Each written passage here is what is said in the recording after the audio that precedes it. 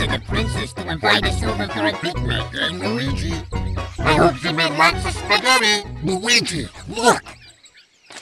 It's from Bowser.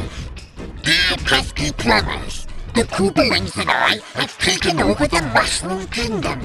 the princess is now a permanent guest at one of my seven Koopa hotels. I dare you to find her if you can gotta find the princess. And you gotta help us. If you need instructions on how to get through the hotel, check out the enclosed instruction book.